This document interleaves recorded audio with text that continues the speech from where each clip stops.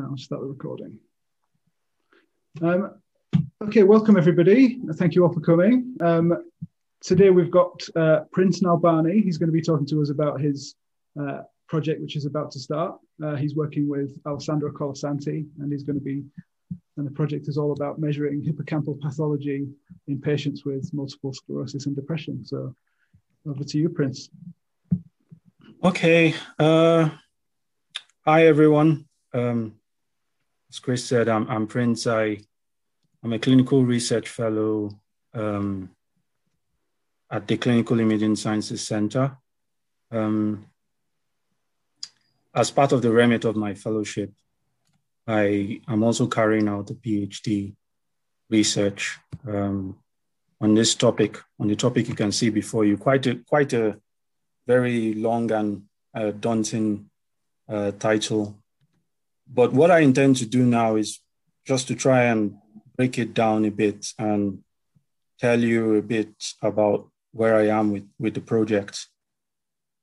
And I, I do have this style of presentation where I initially chat a bit freely so that you know I can carry everyone along. It, it it's quite it's much more easier when you do that. So I, I'll just chat freely about what I'm doing about about the entire project, and then I'll begin to navigate the slides, and then you can you know have a good idea of, of, of the entire project.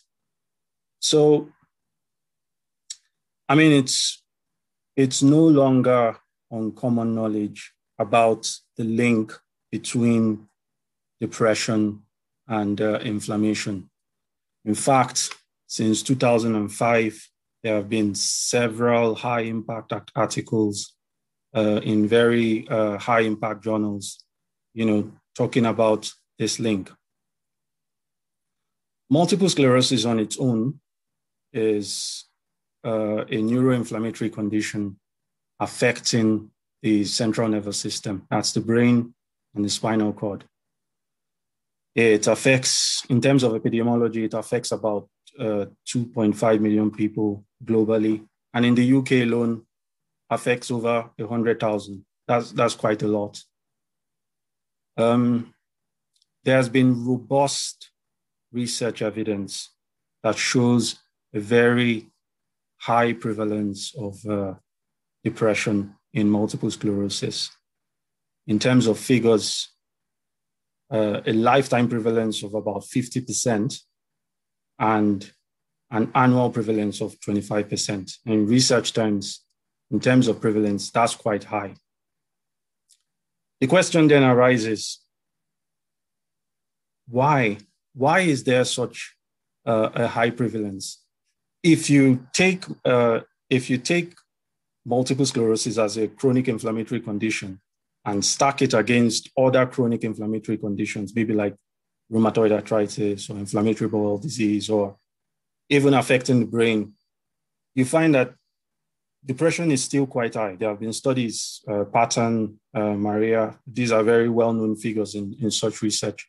The, the prevalence of depression is, is much higher in, in multiple sclerosis. So, so it's a valid question. Why?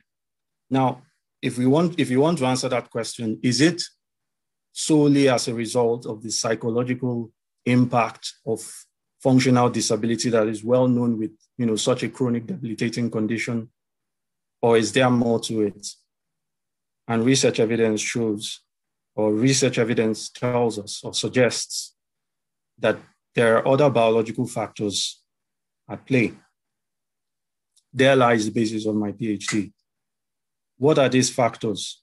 We would want to look at the brain, which, which structure is, would be a suitable candidate, you know, to explain this link.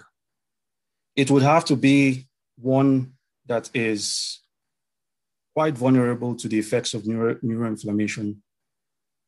It would also have to be one that has, in terms of its function, that has um, a lot of relevance in you know, in our emotions or how we feel, or even in our actions. And that organ is the hippocampus, or that structure is the hippocampus. So my PhD is centered around looking at the hippocampus. But the hippocampus is quite unique as a structure. It is very much embedded in the mediotemporal lobes, you know, and it's uh, made up of several subregions and subfields that are stacked upon each other in a very histologically unique way. These subregions are really small, so that if you employ traditional methods or conventional methods, you know, if there's an MRI, you would mostly get, uh, you would mostly be able to talk a bit about the volume and maybe things that have to do with atrophy. What my PhD is looking into are very novel techniques, some of which have been designed here in the Clinical Imaging Sciences Center, that will look at these subcompartments in detail, that will be able to sensitive enough to look at micro alterations in hippocampal pathology, as well as quantify oxidative metabolism. And as we go on, you will see a bit more of this. Not only that, we're also going to, um, so we're going to try to differentiate uh, hippocampal pathology in people who have multiple sclerosis, you know, differentiate them from those who don't. And people who have comorbid multiple sclerosis and depression from those who have only multiple sclerosis. We will also, in a longitudinal fashion, want to see the effects of this, what, what we refer to as disease modifying treatments. These are the, some of the uh, new medications that they use to try and I w- it, it doesn't have a cure, but to try and control the processes that occur in, in multiple sclerosis, so the relapse or, or, or demyelination. So let me, I, I hope by doing that, you have an idea of what I'm going to uh, speak about. Um, so I'll just going to go, get onto my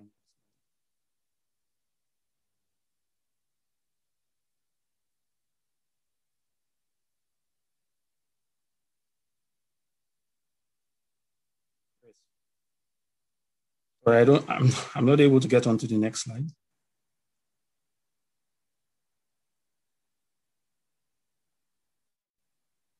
Just try pressing the spacebar or the right arrow key. That's what that's what I did, but it's not. Uh, doesn't seem to be working for some reason. Maybe press escape and see if there's some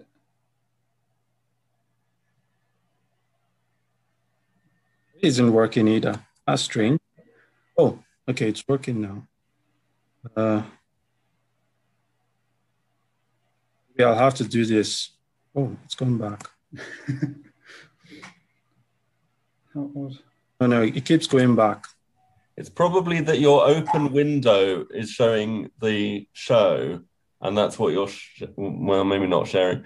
And then you've you've got this open in PowerPoint. You've got sort of a, a window for the presentation open and your PowerPoint. I mean, you can just show it like this and we can see what's on your slides. Okay, maybe I'll just show it like this. Oh, okay. Okay, so in terms of an outline, I will, um, I mean, I've touched on a few of these things in my introduction. So I would look at it uh, the, the, hippocampus in, in my background as a potential candidate in the etiology of depression associated to MS. The rationale being traditional imaging of the hippocampus is unable to visualize hippocampal neuroinflammation, like I said. So we've developed some novel techniques, um, some of which have been developed here at CISC, um, in order to carry out high resolution diffusion imaging of the hippocampus and some other additional techniques, MRI techniques, where we can um, focus on, you know, mapping um, oxidative, oxidative metabolism, um, you know, that is occurring in hippocampal um, pathology. With the with the pandemic, I've been really busy. I, I haven't stopped. Um, I mean, there was it was it it put a downer on um, recruitment. But what I did was I went on to the uh, Human Human Connectome project, which is uh, is um, a, a combination of uh, data that has been, um, I think it, it, emanated from the Massachusetts uh, General Hospital. It's data there, diffusion data, you know, for anyone who wants to try and answer pressing problems that have to do with uh, diffusion. So I've been analyzing some data from there for healthy controls, and I'll show you a bit of that as well. Um, the aim being, the aim being to apply it to uh, MS depression data when I begin to recruit MS patients. So the sole aim, the sole aim of this uh, PhD or, or, the project is to characterize mul multimodal high resolution imaging of the hippocampus in healthy volunteers and in MS patients. And this is how I will proceed with, with my slides. I will tell you, for those who don't really know much about MS, um, I'll tell you a bit about MS in a, in a nutshell very quickly. I will also talk about the role of the hippocampus in cognition and affective regulation. And then we will go on to alteration of the hippocampal volume during stress and mood disorder. So what the effects that stress and affective problems um, could have on, on the hippocampus. Um, vulnerability of the hippocampus to neuroinflammation and oxidative stress, as evidenced by demyelination in MS, and then we'll then move on to diffusion imaging of the hippocampus and in experimental MS. So we'll try and compare some of these diffusion modalities, but in EAE mice, that's experimental autoimmune encephalomyelitis mice, which is just an animal model for multiple sclerosis. I'll then tell you a bit about my PhD, just a snapshot and a few background slides then I'll tell you about some of the analysis that I've done uh, with the Human Connectome project as well. And, and we'll close there. Okay. Um, so MS in a nutshell. I hope everyone can see these slides. There are a few small prints, but don't worry about the prints. I'll just tell you what I have here on the slide. MS as a condition is a chronic debilitating neuroinflammatory autoimmune condition that affects the brain and the spinal cord with sensory, motor, visual, um, and affective consequences. Um, with MS, what happens is that, I mean, there's still loads of research, but what happens is that there's the belief that the blood brain barrier is somewhat leaky or is defective. So immune cells cross the blood-brain barrier, T cells most likely, and then begin to have an impact. If you can see my cursor, so it, it begins to destroy the myelin sheath that protects the, the neuroaxons and um, also destroy the um, oligodendrocytes that, that produce this myelin sheath what happens is that there's a disruption in uh, neurotransmission across the, the axons, and this can lead to all sorts of problems. Can affect cognition. So you, you hear the MS patients, uh, them, unfortunately, they tend to have this brain fog, problems with their memory. They have problems with vision um, because it affects the optic nerve. You know, they say they have um, double vision, or some of them complain of what we call nystagmus, and their vision is quite bad. Some of them might also be quite dizzy. Fatigue is quite quite big on in, in multiple sclerosis. I think about 85 to 90% patients complain of fatigue. Uh, they do a bit of work, maybe their activities of daily living, they just do a bit and then they get really tired. You know, really, uh, the, energy levels reduce quite dramatically. It could, not every time, but it could affect uh, speech, swallowing. So some, some patients complain of speech and swallowing difficulties, and that's fatigue, which I've spoken about. Some patients complain about pain. I've seen patients with in, in a lot of pain. sometimes at night, the pain is worse. They have this spasm, so their, their muscles begin to spasm at night, keep them awake at night. So it causes some insomnia as well. They don't sleep very well. If the condition continues to advance, it might begin to affect the bladder and the bowel. So you hear patients complaining about incontinence and problems of the sort. Patients also complain about sexual dysfunction. Some patients complain about tremor, there's tingling, weakness, loss of balance. So uh, patients will tend to uh, present to their GPs first. Um, if the GP has a high index, if they suspect, you know, then they refer to the neurologist. I mean, I haven't, I haven't sat in um, my, my profession is in psychiatry, so I haven't really sat in on, on a neurological, um, I mean, when they're seen. But what I, what I think is, if if there are problems with vision and problems with balance, and the neurologist begins to think about uh, after several examinations and of course um, investigations to show that the patient has multiple sclerosis, they start to think of disease modifying agents. Uh, those are the medications. So there is numbness there as well. Now, in terms of phases, multiple sclerosis presents in different phases. High up there in 85% of 85% of patients is the relapsing remitting. So the, the relapsing remitting phase of uh, multiple sclerosis, where there's an acute attack of multiple sclerosis, um, should last for a period of more than 24 hours.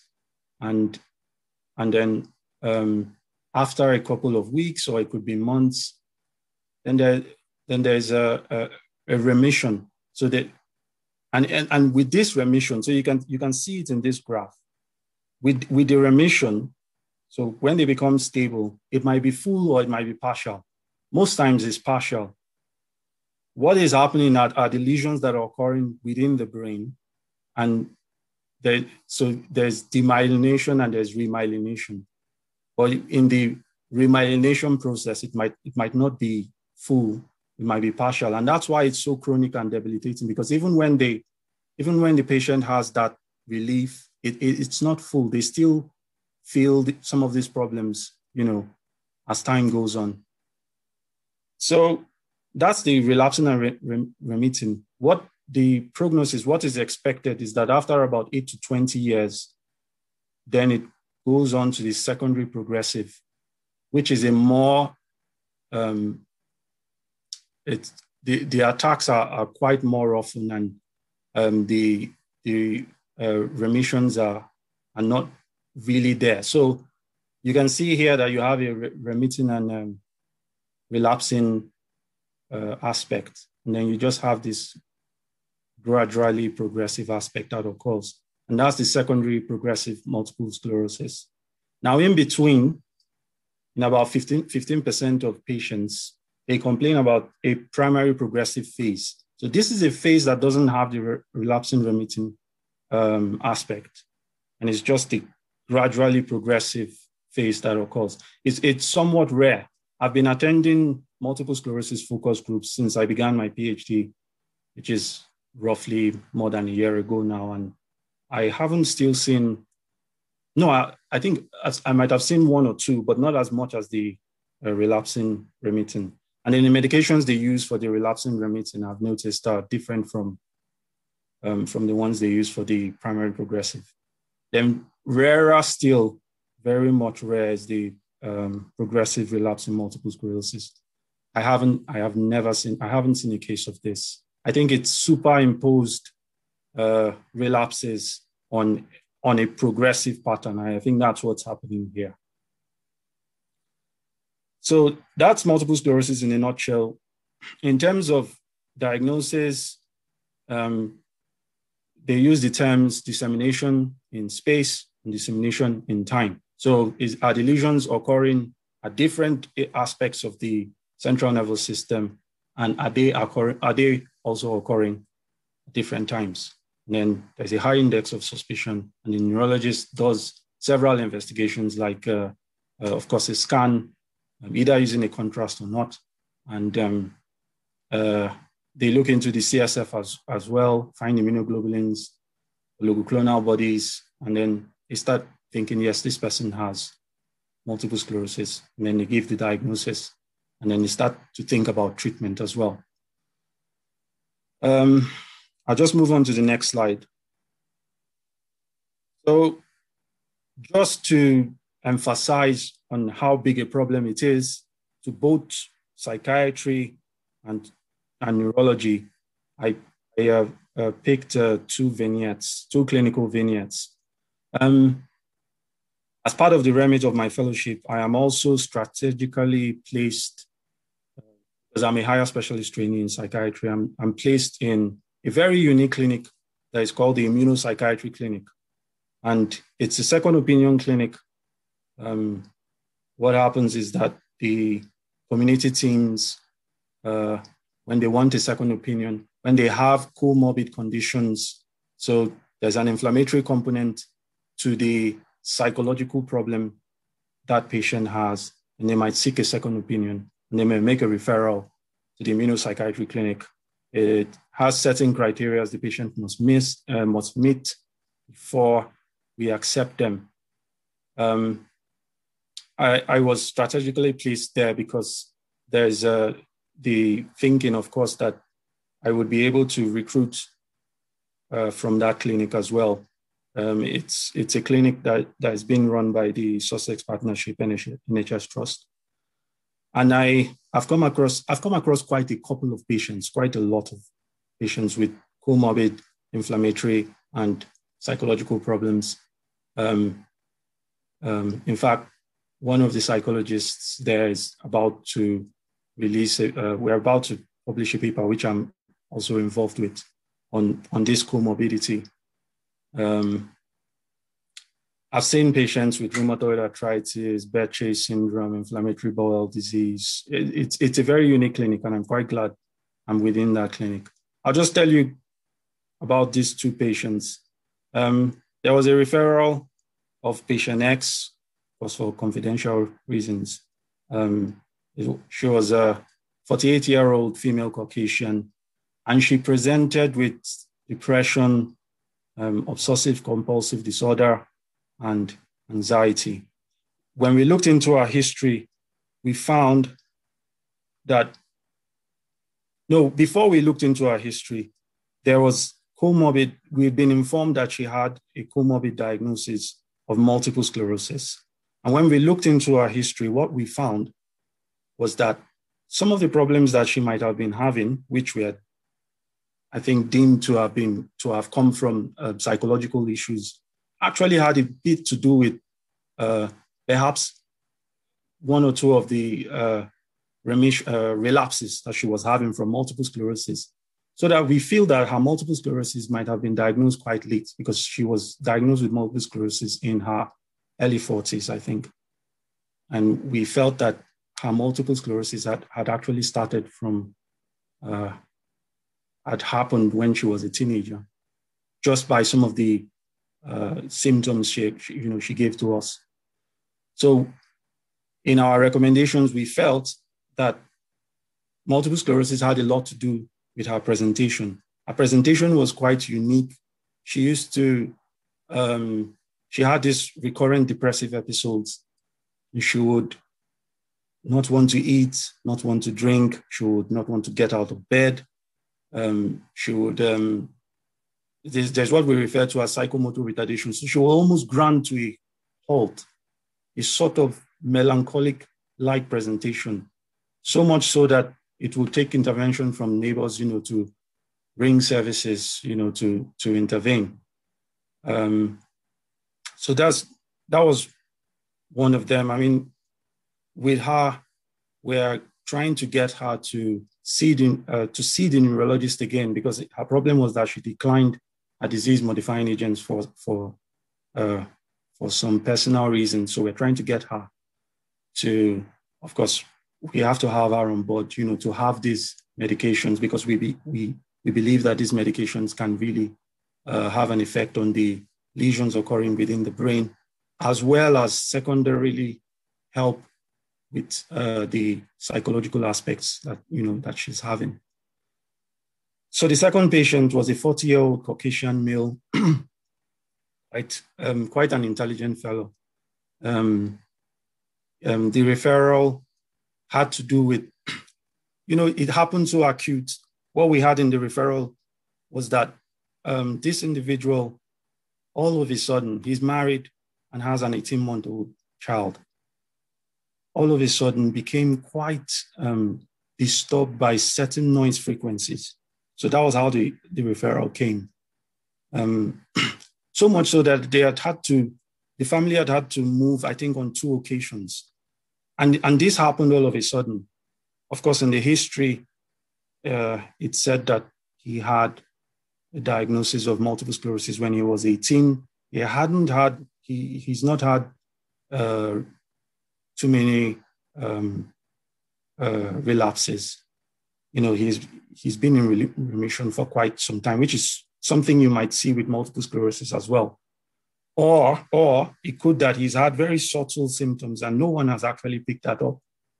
What was interesting and why I put it here was that when, as we investigated further, we found that there's a there's a uh, condition known as hyperacusis. Hyperacusis could occur with multiple sclerosis, and it's uh, um, it's when one becomes really uncomfortable with certain noise frequencies, certain sounds, um, and it it could happen in multiple sclerosis because the vestibulocochlear nerve enters into the brainstem at the level of the pons and the medulla, and if there are lesions around there, which could occur in multiple sclerosis, it could damage the vestibulocochlear nerve.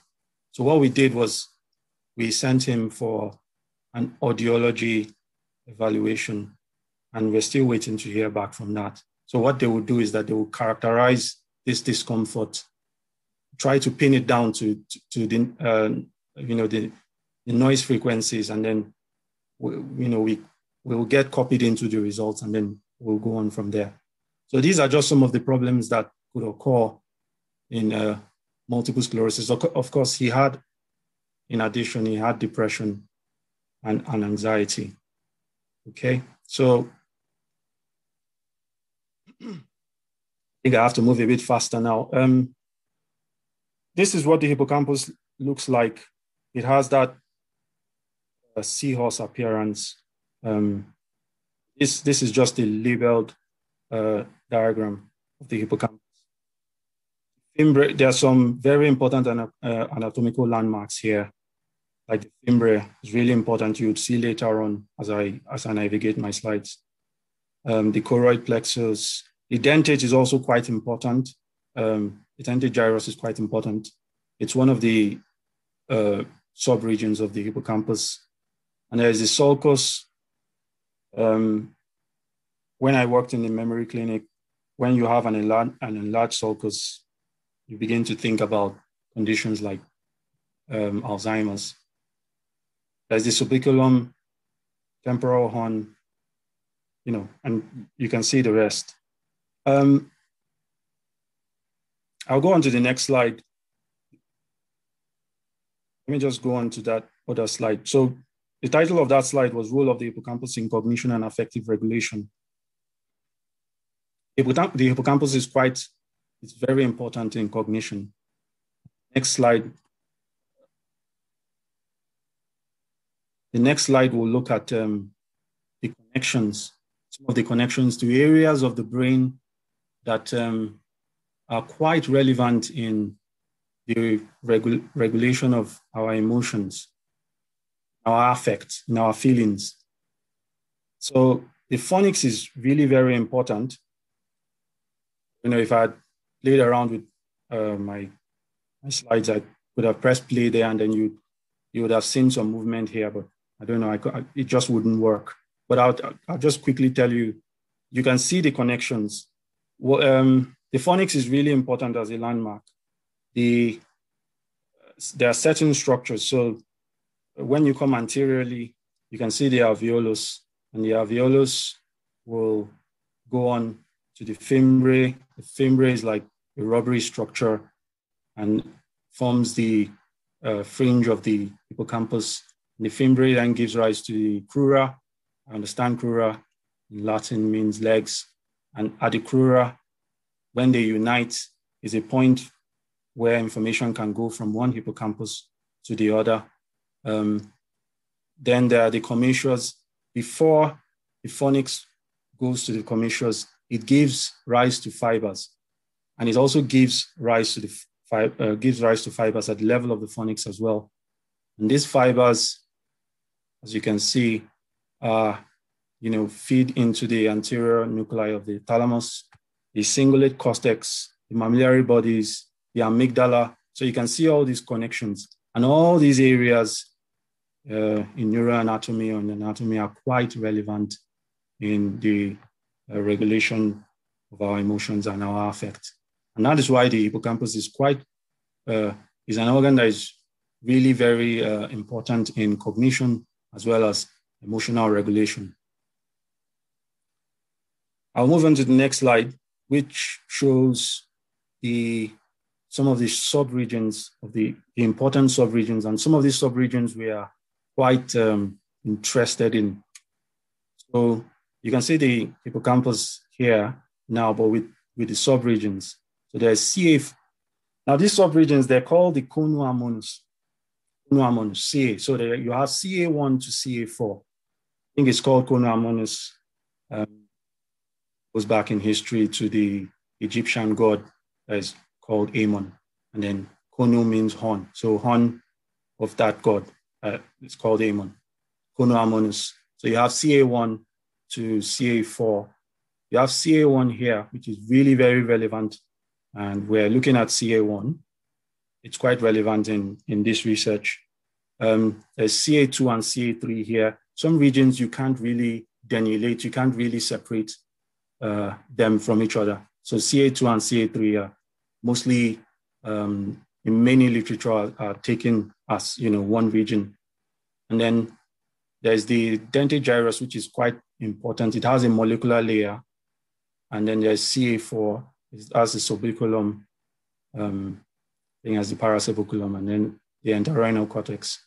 So you can see how each region is just stacked upon each other in a very unique and, um, in, in imaging terms, in a very it's quite difficult to, to visualize this, these regions. Um, but with some of the novel techniques, we intend to do just that. And this is just like uh, yeah, another diagram. I'll go on to the next slide, which in this slide, why I put this slide in is because we then begin to uh, see the usefulness of, of some of these regions. And some literature have begun to uh, look at the volumes of these regions, like some sort of volumetric analysis. Um, this is this uh, slide or this uh, diagram is from Zeng et al. What uh, Zheng did here and his working group, what they did was that they took a cohort and divided them into four groups based on age. So there's the younger age group. Um, I can't really remember the figures now. I think from 26 to 35. There was the middle early from 35, I think up to about 50. And then there was the middle late, that's from 50 to 60 something. And then 60 something upwards were the older uh, bits of the cohort. And um, they used a software, FreeSurfer, Free software is just like an imaging software package that has computed programs in it uh, and is very efficient in volume. Well, I would, some literature have argued otherwise anyway, because some of, some, actually I saw some literature that, that are questioning the validity of FreeSurfer, but everyone knows it to be quite good in uh, volumetric analysis and in shape analysis. What I, I have, what free, FreeSurfer can do and automate automated, like a semi-automated or an automated segmentation. And that's what they've done here. You can see it's all color coded, very nicely done. There's CA1 there, the sub-region. There's CA2, CA3 in green there. So that's a sagittal view. This is a coronal view, and that's an axial view. And it's so neat I'm emphasizing on the neatness because I've done my own segmentation manually and it's not as neat as that. But at least I take solace in the fact that some literature are arguing that um, some of these automated means are not very um, effective and that manual segmentation should be the gold standard. You'll see later towards the end of my presentation some of the things I've done. So what Zheng did was uh, look at these regions, um, do the volumetric analysis, uh, get the volumes, and what he found, or what they found, was that the volumes were very much reduced in the in the older um, age groups. So the volumes of those of some of the sub-regions, I think CA1, CA2, CA3, are quite reduced in some of the old groups, and of course that that was um, somewhat significant. I will move on to the next slide, which I've titled this slide Alteration of Hippocampal Volume During Stress and Mood Disorder. So we are, we are slowly moving from physiology down and we're coming now to a bit of pathology. Now, this is some work that was carried out um, by Schmaal et al. So Schmaal and his working group. What they did was they, they did a correlation of uh, um, some research from the Enigma group. The Enigma, the Enigma group is quite a unique group, fantastic group, a very large uh, international collaboration um, that uh, cuts across about 14 countries.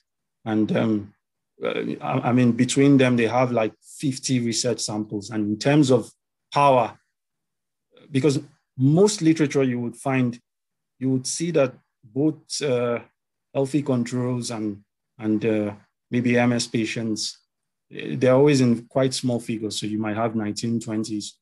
But the Enigma group, based on that, and pulling together all this data across their partners, they had a massive uh, sample.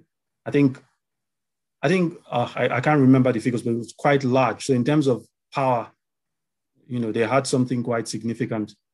Um, what they wanted to do was that they looked at several subcortical regions in the brain, um, and they wanted to see which one of those regions can effectively differentiate between um, uh, um, major patients that suffer with major, major depression and then and, and controls.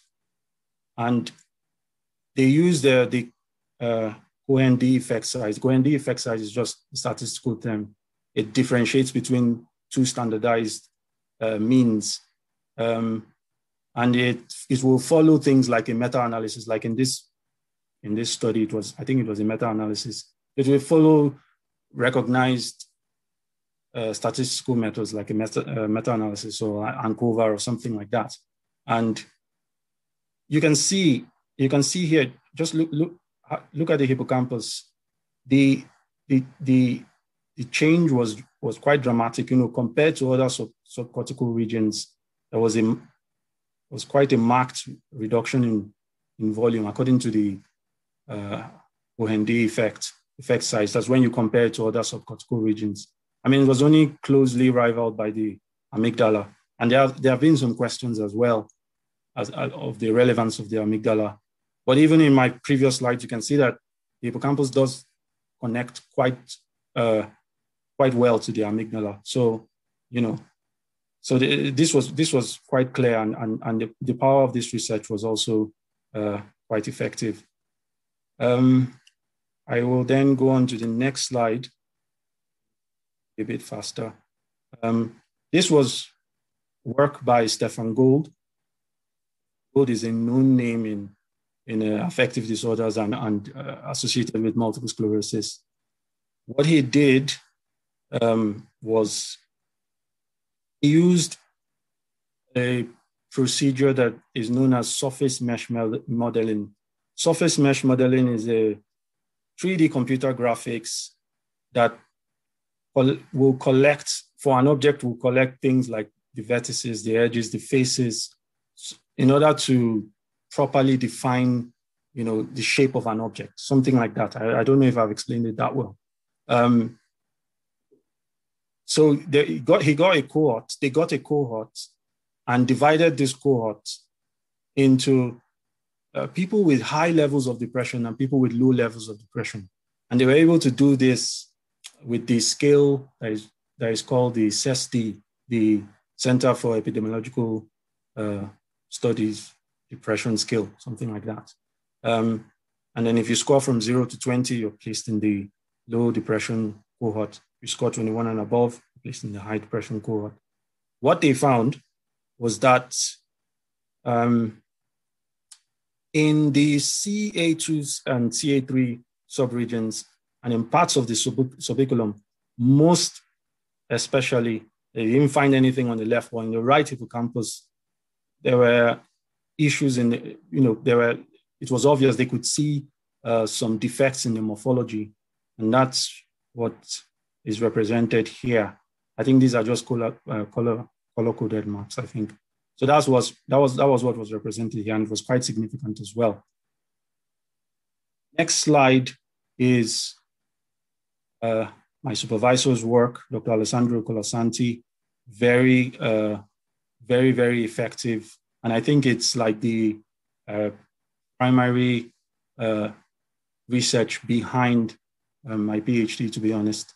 What he did was he simply looked at the inter uh, relationship between uh, hippocampal functional connectivity, depression, and neuroinflammation, and found that there was a significant correlation.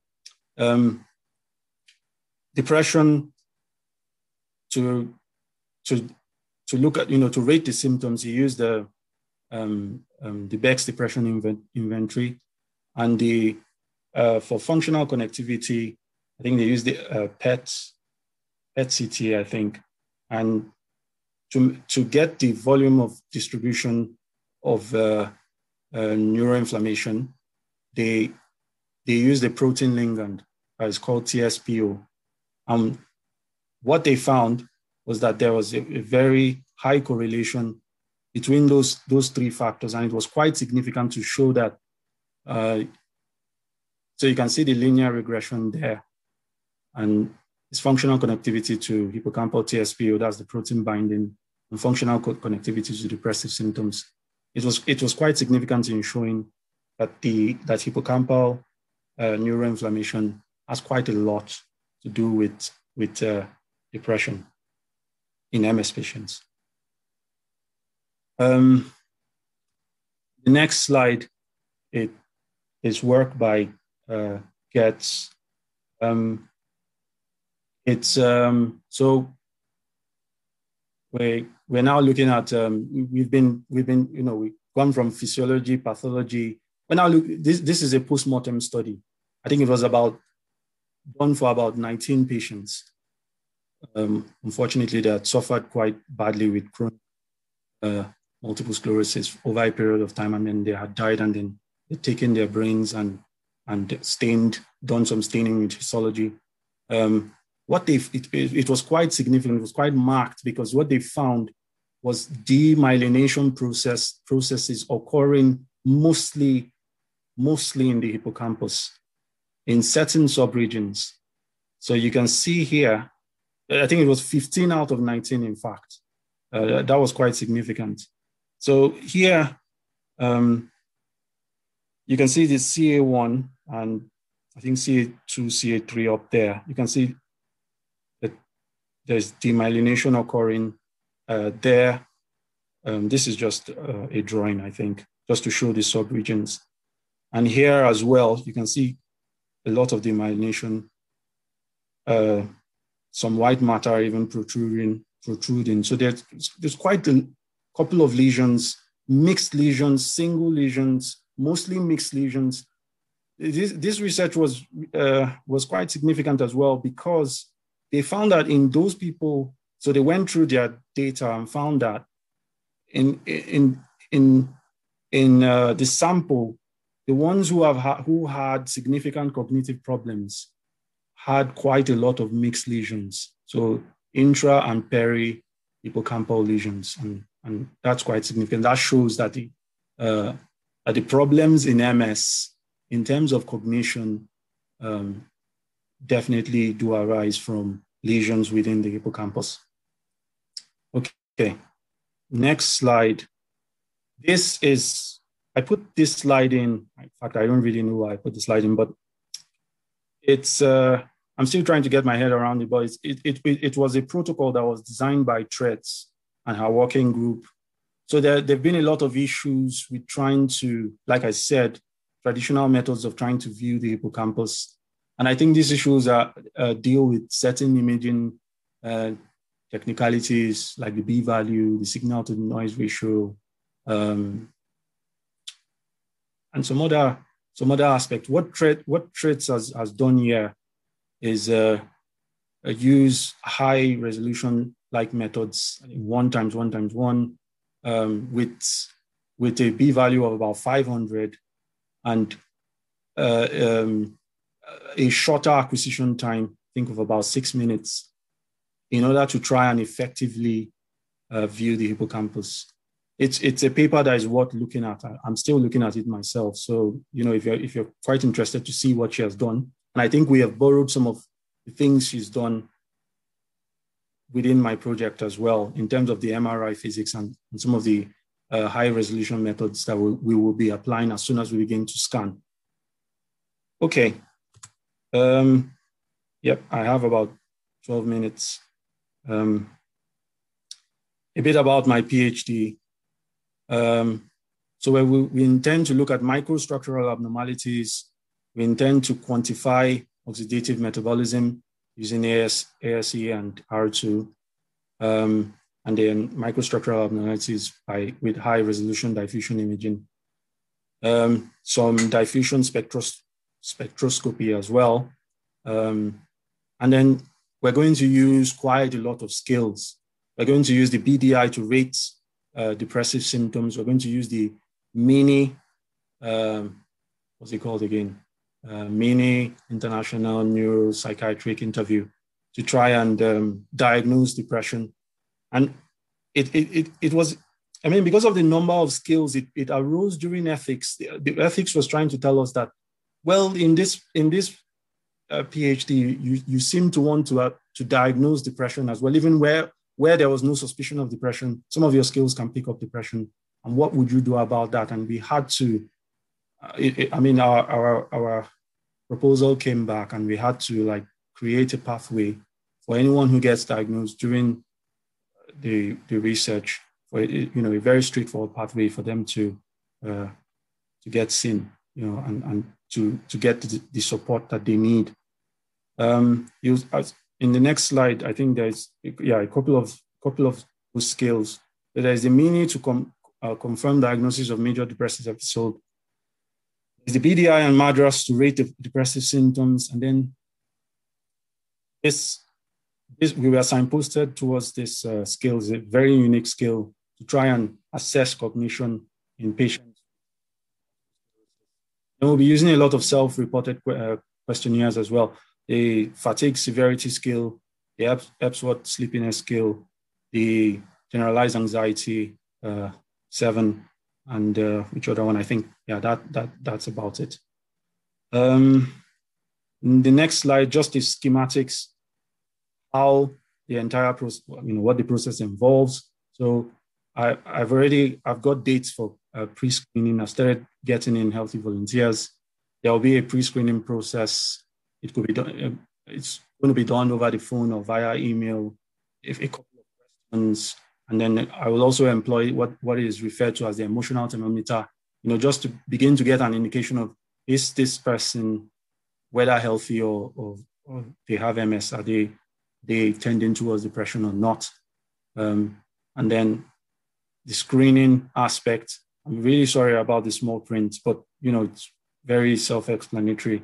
The screening aspect is where we begin to employ um, most of our skills, you know, to see, you know, to rate symptoms and, and to get the diagnosis of depression if there is one. And then um, if they pass screening and they meet all the criteria we've set, some of the inclusion criteria I've put towards the end of, of, of, of the slides. We then move on to MRI visits. Um, what happened, there's a longitudinal aspect of the, of the study. What we intend to do is to get newly diagnosed patients that have had, that are newly diagnosed with multiple sclerosis and are waiting to start disease modifying treatments, about six of them, um, according to the MS Society, that are quite high impact. So we get them at that stage. Uh, of course, they have to give their consent. We have to tell them how important the research is, and you know they have to want to volunteer for it. We do the scanning before they start the disease modifying agents, and then four to six months after, we scan them again. Um, this is just like a time limit that I have left, and I'm beginning to, you know, create a sequence so that I can move quite quickly. As I said before, COVID did uh, put a down on things, but I, am beginning to accelerate um, again, and hopefully I will meet uh, most of the targets. Um, I will rush over the next two slides. It's just some of the special MRI techniques that we would employ. So there's the um, arterial spin labeling. Arterial spin labeling is just radio label protons that, are, that are in arterial blood and then measure the time in which, so you, you, you do the radio labeling at this stage, then you measure the time in which they go on to perfuse the brain tissue. So you have that, and then you do a control as well without radio labeled uh, protons. You then do a, some sort of subtraction and get a perfusion weighted image. And then it helps you to try and quantify or measure cerebral blood flow. Um, we'll be doing it as well as uh, ASE.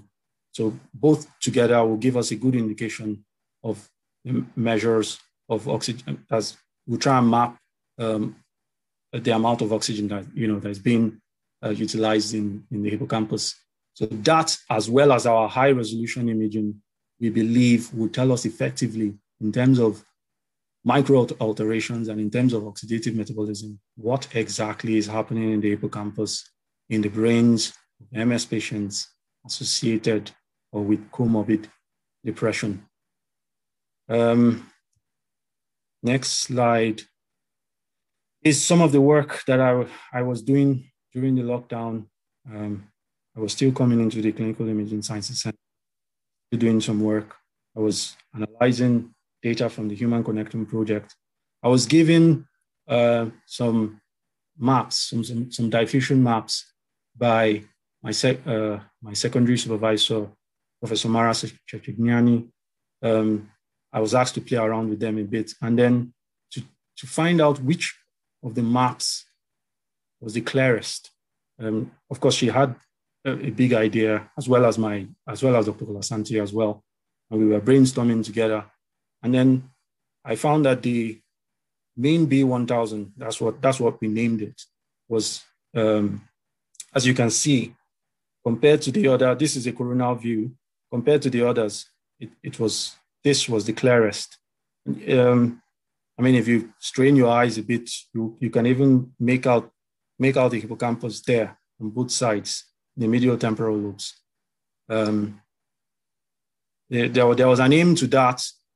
They, they, they, they now we now began to uh, I now started to segment, and the segmented uh, segmentation was self-directed. I had to um, I had to design or adapt uh, my own protocol from Marshall Dalton. Marshall Dalton is a, a has a very, a very, very good uh, segmentation manual. You can look it up. I had to adapt a, a semi protocol from that and then start to do self-guided manual segmentation with the aim being they're going to get someone else to do exactly what I've done to get some uh, inter-rater uh, reproduce reproduce it to reproduce what I've done. To be honest, um, I'm just trying to be trying to keep to time. So we, you can see some of my segmentation there, color coded CA1, uh, D, uh, DGCA4. Those are the, some of the regions we're interested in. So dentate gyrus, CA4, CA1. And um, initially, I was interested in what a very small aspect, a layer called the SLRM, stratum lacunosum moleculare and radiatum.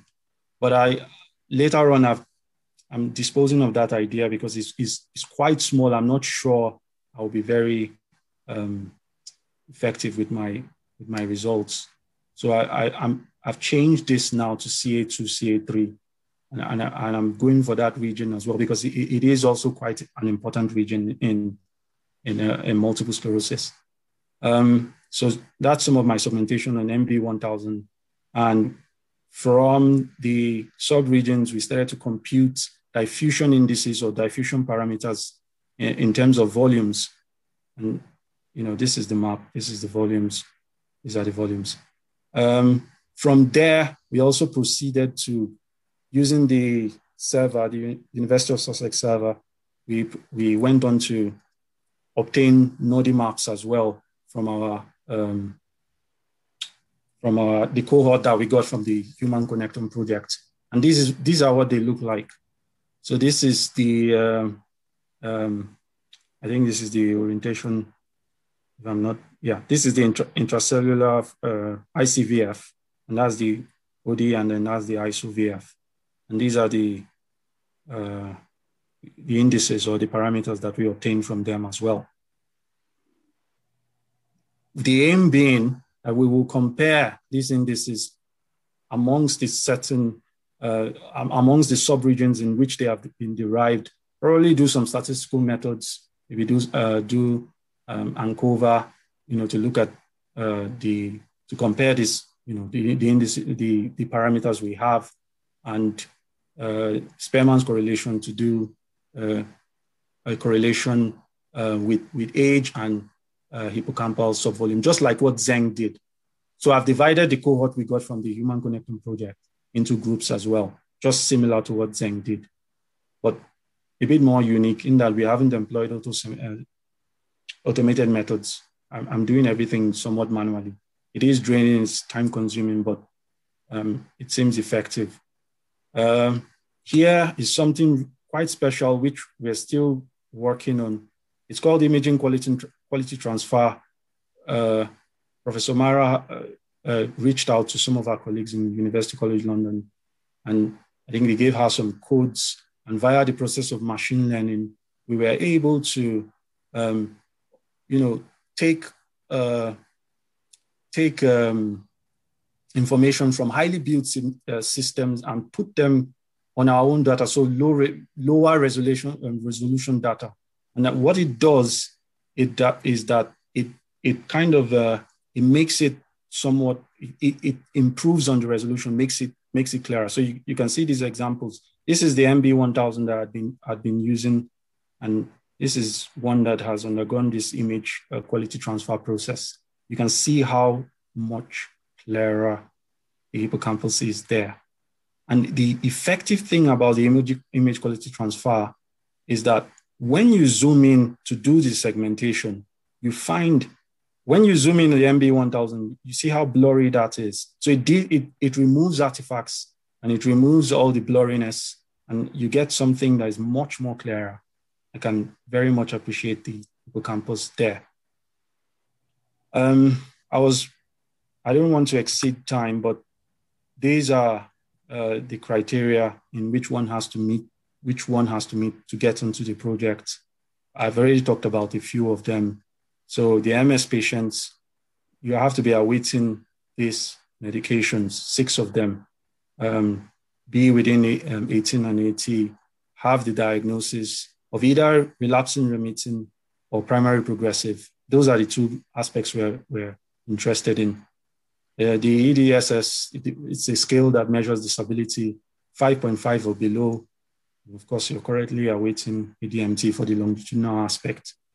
And I think that's me. Um, this is, uh, um, you, you, can find me on Twitter. If you want to learn more about things I'm doing during, uh, in, in the PhD, you know, you can find me on Twitter or, you know, can send me an email or something. Now I'll get back to you. Well, thank you very much, Prince. Um, I think, given the time, there's probably not that much time for discussion, but I, I, I'm happy to leave the um, Zoom session up if, if anybody does have any any um, discussion points they want to chat to Prince about. But um, yeah, given the time, people may need to leave. So um, thank you very much, Prince. It's a fascinating project, and I look forward to hearing some results from it.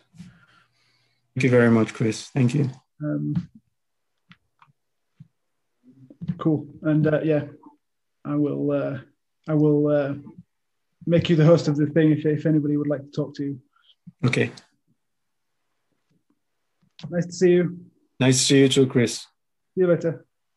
See ya.